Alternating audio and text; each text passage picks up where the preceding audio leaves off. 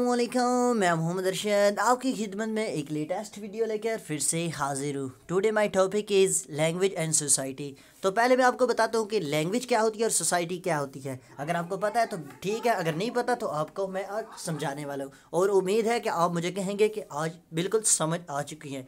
Language एक ऐसा अमल है जिसके ज़रिए हम अपनी बात दूसरों तक कन्वे करते हैं और दूसरों की बात सुनते हैं। यानी language is a communicating through voice and जो है हमारी लैंग्वेज होती है, इसके ज़रिए हम बात करते हैं। इसके ज़रिए हम एक दूसरे से कम्युनिकेट करते हैं। अपने मैसेज को एक दूसरे तक पहुंचाते हैं। और सोसाइटी क्या है? सोसाइटी में बताता हूँ। सोसाइटी एक ऐसा अमल है जिसमें लोग इकट्ठे रहते हैं। अपने जज्बात एहसास अपने कल्चर्स अपनी ज़िंदगी तमाम एक दूसरे का शेयर करते हैं। इसे हम कहते हैं सोसाइटी सोसाइटी बेसिकली हमारे यहाँ जो जिस हम कौम में रह रहे होते हैं, हमारी भी सोसाइटी इस किस्म की होती है। मिसाल के तौर पर, हम सख्त काम करते हैं तो हमारी जो सोसाइटी है, वो सख्त रवैये के मालिक होंगे, जो हम नरम मामला होंगे। मिसाल पर गाँव और शहरों में जिस तरह फ़र्क है, उनकी सोसाइटी और हमारी सोसाइटी में बहुत सा फ़र्क है। यानी वो जो होते हैं नॉर्मल होते हैं, और गाँव वाले थोड़े सख्त होते हैं। यानी लड़ने में भी एक दूसरे से ताकतवर होते हैं। इस तरह लैंग्वेज और सोसाइटी जो है एक दूसरे के साथ गहरा तलक रखते हैं। तो मैं ज़्यादा टाइम नहीं वेस्ट करूँगा, मैं अपने टॉपिक को शुरू करता हूँ। There is a performed relationship between language और सोसाइटी लैंग्वेज और सोसाइटी का आपस में गहरा रिश्ता है। पंजाबी में जैसे कि हम कहते हैं कि सक्का रिश्ता है। यानी एक दूजे दियाँ सकियाँ भैन लगती हैं एक सके एक दूजे के सक्के भरा लगते हैं वो मेरे दादे का पुत्र है, मेरा सक्का दादा है, मेरा सक्का पतरिया। इस तरह जो रिश्ते हम पंजाबी में कहते हैं, इसी तरह ये भी एक दूसरे के, यानी एक दूसरे के मुताबकत रखते हैं। इनके बगैर एक दूसरे के ये रह नहीं सकते। तो there are many ways in which language in society are related बहुत सारी जगह, यानी बहुत सारी, मैं मिसाल में तरफ़ यानी ये दोनों एक दूसरे के रिलेटेड हैं, यानी एक दूसरे के साथ बहुत ज़्यादा तल्लक रखती हैं। ऊपर में बताया ना कि सक्का रिश्ता है, नीचे भी सक्का रिश्ता ही शो हो रहा है।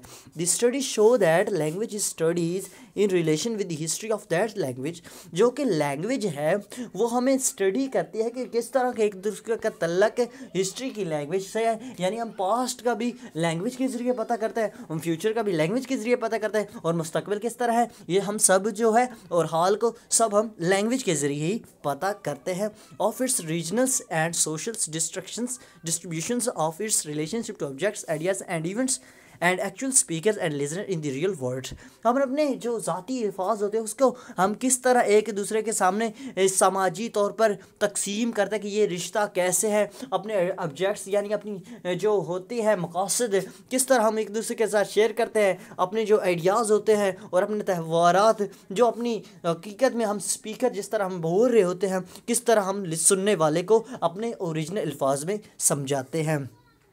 इसे, इसी तक, इस जगह तक मैंने अपनी टिक लगाई हुई है। अगर आप मुकम्मल करना चाहें तो मुकम्मल कर सकते हैं। इससे आगे मैं जो, मुकम्मल जवाब बन रहा है, आगे उसके एक मिसाल है। और major concern of social linguistic ये क्वेश्चन है वो आप कर लीजिएगा. Major concern of social linguistic is to examine possible relationship between linguist atoms linguist के जो आ, अपने होते हैं वर्ड यानी एटम इधर वर्ड्स करके यानी इनका जो अपने वर्ड्स होते हैं वो किस तरह एक दूसरे के साथ यानी जाँच पड़ताल करते हैं मुमकिन जो जाँच पड़ताल होती है। On the one hand and concept such as power जो एक आ, हमारा नज़रिया है जैसे कि हमारी पावर है सॉलिडिटी जो कि लैंग्वेज जितनी मज़बूत होगी इतनी उनकी जो होती है माशी तरक्की वो भी ज़्यादा मज़बूत होगी। जैसे हमारे यहाँ जो आजकल ब्रिटिश जो है लैंग्वेज है, यानी जो मगरबी मालिक के हैं, उनकी जो इंग्लिश है, वो बहुत पावरफुल लैंग्वेज समझी जाती है, क्योंकि वो इंटरनेशनल लैंग्वेज है। अगर इसी तरह हम अपनी पंजाबी को अहमियत देंगे तो ये भी पावर लैंग्वेज बन सकती है। जैसे कि चाइना ने साबित कर दिया है कि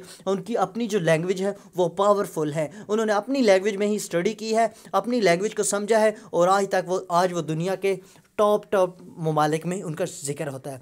There are several possible relationship between language and society language का जो रिश्ता है, वो कैसे एक दूसरे के साथ मसलन तल्लक रखता है, कैसे एक दूसरे के साथ बात करता है, इसके बहुत सारी, यानी वजूहत है, वो मैं आपके साथ डिस्कस करने वाला हूँ। One is the social structures determines उसका जो सोशल स्ट्रक्चर यानी समाजी बनावट है, वो कैसे तयन करती है कि द लिंग्विस्ट बिहेवियर के लिंग्विस्ट का जो रवैया है फॉर द एग्ज़ाम्पल मिसाल के तौर पर एज ग्रेडिंग फिनमिन जो कि एज हो सकता है। एज ग्रेडिंग से मराज यह है कि बच्चे का रवैया और है, बड़े का और है और बूढ़े का और है, यानी सब के सब एज ग्रेडिंग में हो रहा है। लेकिन इधर मुझे एक सूटेबल एग्जांपल नहीं लग रही तो मैं अपने आप से ऐड करूँगा। मिसाल के तौर पे हम इनफॉर्मल और फॉर्मल जो है, इस सिचुएशन को हम आपके साथ डिस्कस करते हैं कि कैसे ये एक दूसरे के साथ मुनहसर होते हैं। तो मिसाल के तौर पे कैसे कैसे मिसाल लूँ, कैसे लूँ कैसे लूँ? हाँ एक भट्टे वाली है और एक पढ़ी लिखी औरत है। भट्टे वाली का आपको पता है कि वो कैसे बात करेगी और जो पढ़ी लिखी है वो कैसे बात करेगी। उन दोनों के मेहमान आ जाए तो भट्टे वाली का क्या रवैया है? जो दूसरी का है, उसका क्या रवैया है? भट्टे वाली का जो तरीका है, वो अपने उस कपड़ों में ही उससे बात करेंगी, अपने हाथ भी नहीं धोएगी, उससे बात करेगी। जो कि इधर है इधर जो आएगी वो कहेंगी हाँ भाई, किस तरह है, क्या है आगे कोई? यानी उससे बड़े फॉर्मल तरीके से बात करें, इस तरह ये एक मिसाल क्लोज हो चुकी है।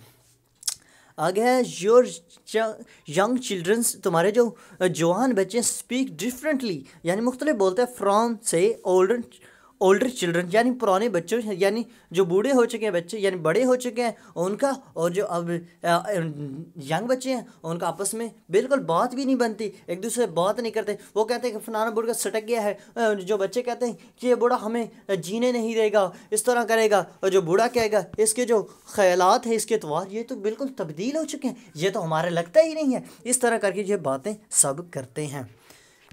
Children speak different from Nature's nature's adult, the choice of word also depends upon speaker's, regions socials and authentic organs ये जो इनका जो तरीका है, ये किस तरह, इनके जो बोलने वाला तरीका है, ये किस तरह रेगुलेशंस यानी रीजनल्स एक दूसरे से तब्दील हो चुका है, कैसे हो चुका है? क्योंकि आजकल जो इफ़ेक्ट है, ये सोसाइटी और जो जहाँ जो लोग रहते हैं, इनका ये असर होता है।